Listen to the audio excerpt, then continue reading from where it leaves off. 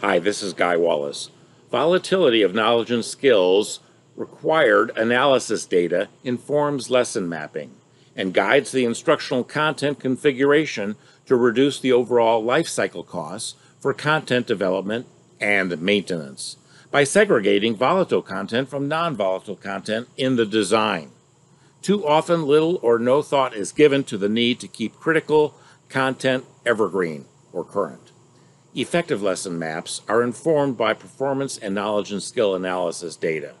Efficient lesson maps are informed by target audience and existing content analysis data.